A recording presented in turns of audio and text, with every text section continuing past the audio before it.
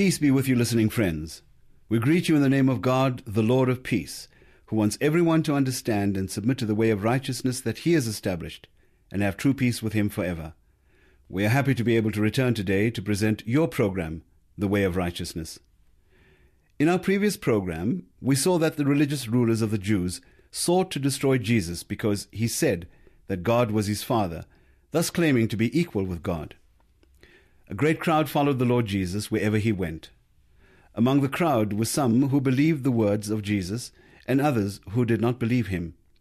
Jesus chose twelve apostles or messengers from among those who believed him so that he might be with them, teach them, and send them out to proclaim the good news of salvation. The twelve apostles whom Jesus chose were named Simon, who was also called Peter, and Andrew his brother, James the son of Zebedee and his younger brother John. Those four were fishermen. The other apostles were Philip, Bartholomew, Thomas, Matthew the tax collector, James son of Alphaeus, Thaddeus, Simon the Canaanite, and Judas Iscariot, who would betray him. Those were the twelve disciples who accompanied Jesus. Several women also followed Jesus everywhere he went. Mary Magdalene, from whom Jesus had driven out seven demons, Joanna, the wife of Chuza, the manager of Herod's household, Susanna, and the other women. These women helped to support Jesus out of their own means. As we have already seen, the people were amazed at the teaching of the Lord Jesus, because he taught them with an authority which their religious leaders did not have. The authority of Jesus was not limited to mere words, but was proven by his mighty works. For the scripture says, The kingdom of God is not a matter of talk, but of power. In today's lesson, we will see how the Lord Jesus possessed power and authority over every creature and every force on earth. We begin our reading in the Gospel of Mark, chapter 4. The scripture says, That day when evening came, Jesus said to his disciples, Let us go over to the other side. Leaving the crowd behind, they took him along, just as he was in the boat. There were also other boats with him. A furious squall came up, and the waves broke over the boat so that it was nearly swamped. Jesus was in the stern, sleeping on a cushion. The disciples woke him and said to him, Teacher, don't you care if we drown? He got up, rebuked the wind, and said to the waves, Quiet, be still. Then the wind died down, and it was completely calm. He said to his disciples, Why are you so afraid? Do you still have no faith? They were terrified and asked each other, Who is this? Even the wind and the waves obey him. They went across the lake to the region of the Gerasenes. When Jesus was out of the boat, a man with an evil spirit came from the tombs to meet him. This man lived in the tombs, and no one could bind him any more, not even with a chain. For he had often been chained hand and foot, but he tore the chains apart and broke the irons on his feet. No one was strong enough to subdue him. Night and day, among the tombs and in the hills, he would cry out and cut himself with stones. When he saw Jesus from a distance, he ran and fell on his knees in front of him. He shouted at the top of his voice, What do you want with me, Jesus, Son of the Most High God? Swear to God that you won't torture me. For Jesus had said to him, Come out of this man, you evil spirit. Then Jesus asked him, What is your name? My name is Legion, he replied, for we are many.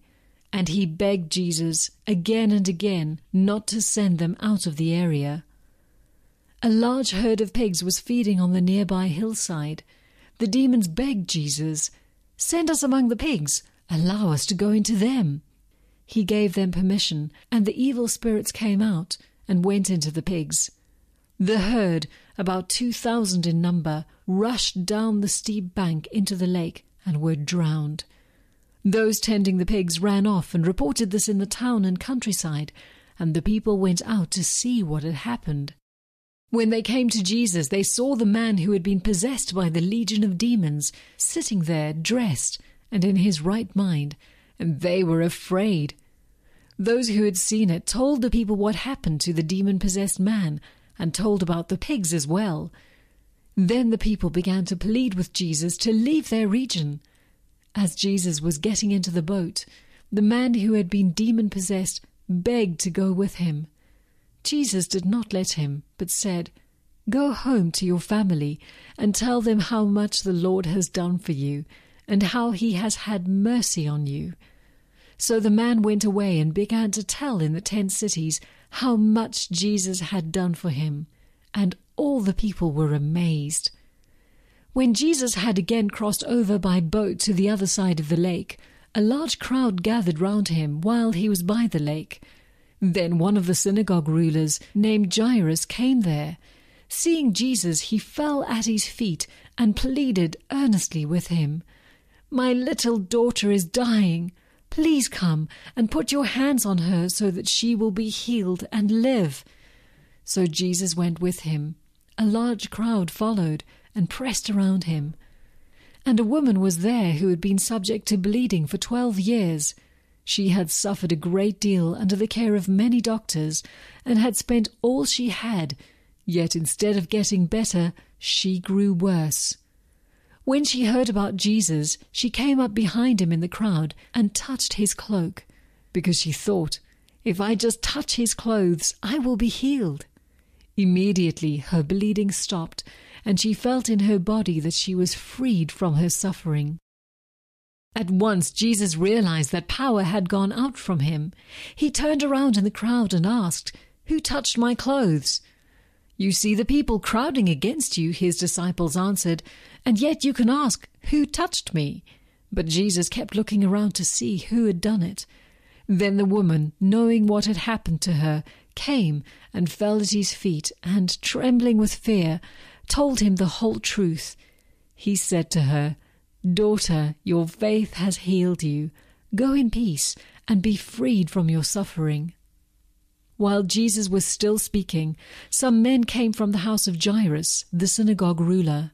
Your daughter is dead, they said. Why bother the teacher any more? Ignoring what they said, Jesus told the synagogue ruler, Don't be afraid, just believe. He did not let anyone follow him except Peter, James, and John, the brother of James. When they came to the home of the synagogue ruler, Jesus saw a commotion with people crying and wailing loudly. He went in and said to them, Why all this commotion and wailing? The child is not dead, but asleep. But they laughed at him. After he put them all out, he took the child's father and mother and the disciples who were with him and went in where the child was. He took her by the hand and said to her, Talita kum, which means, Little girl, I say to you, get up. Immediately the girl stood up and walked around. She was twelve years old. At this they were completely astonished. He gave strict orders not to let anyone know about this and told them to give her something to eat. As Jesus went on from there, two blind men followed him, calling out, Have mercy on us, son of David! When he had gone indoors, the blind men came to him, and he asked them, Do you believe that I am able to do this? Yes, Lord, they replied. Then he touched their eyes and said, According to your faith will it be done to you. And their sight was restored. Jesus warned them sternly, See that no one knows about this. But they went out and spread the news about him all over that region. While they were going out, a man who was demon possessed and could not talk was brought to Jesus. And when the demon was driven out, the man who had been mute spoke. The crowd was amazed and said, Nothing like this has ever been seen in Israel. But the Pharisees said, It is by the prince of demons that he drives out demons. Jesus left there and went to his hometown accompanied by his disciples.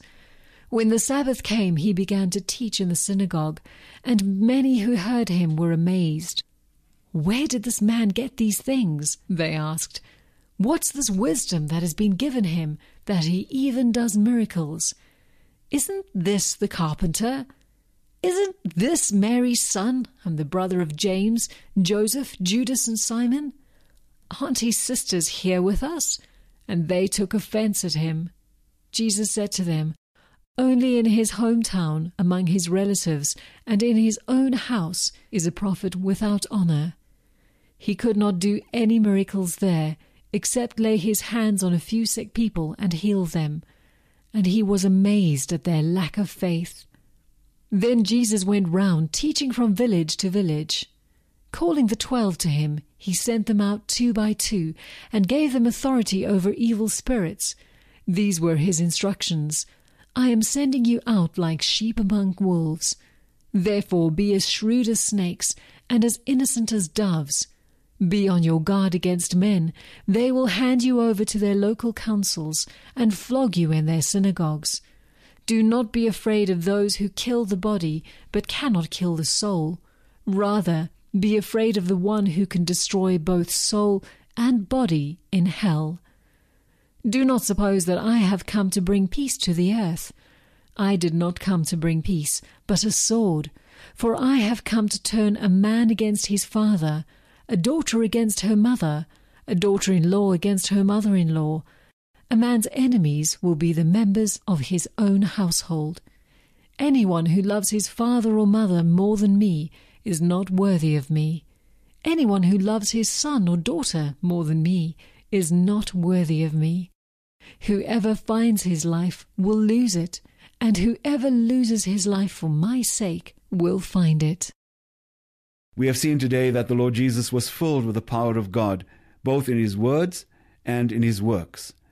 The multitudes that followed him were amazed, saying, Where did this man get these things? What's this wisdom that has been given him that he even does miracles? Where did Jesus get his power and wisdom from? He didn't get it from anywhere, because he himself is the power and the wisdom of God. The Lord Jesus did all the mighty works of God upon the earth to show people where he came from and who he was. He had authority over every created being and every kind of power, because he was the Ru Allah and the Kalimatullah. That is, he is the Spirit of God and the Word of God. That is why Jesus could calm the furious storm and heal the wild, demon possessed man by simply speaking a word. All of God's unlimited power was inside the Lord Jesus. That is the reason he could heal the woman who had suffered with bleeding for 12 years. This woman had spent all her money on many doctors and their medicines, but the moment she touched Jesus' cloak, she was healed. Similarly, when Jesus touched the eyes of the two blind men, immediately their sight was restored. And Jesus' authority was not limited to those who were alive. He also had authority over the dead. That is why he could bring back to life the child who had died. Jesus' power surpassed that of a mere prophet because he himself was the Word of God in a human body. Yes, God's Word tells us that all power and all authority have been given to Jesus the Messiah. That is why, if you trust in Jesus as your Savior and your Lord, you will no longer need to fear anything not death, not life, not evil spirits, not witch doctors, not the present nor the future. You will no longer need to wear charms or pour out an offering to a personal protector spirit because the Lord Jesus will protect you. That is what the scripture says. In Jesus Christ, all the fullness of the deity lives in bodily form, and you have been given fullness in Christ, who is the head over every power and authority. Are you trusting in the one who is the head over every power and authority? Or are you still trying to appease the lesser powers and authorities of this world? Thank you for listening. In the next study, Lord willing, we will continue in the Gospel and hear how Jesus taught the multitudes with parables. May God bless you and teach you the deep meaning of what he has declared concerning the Messiah. In Jesus Christ, all the fullness of the deity lives in bodily form.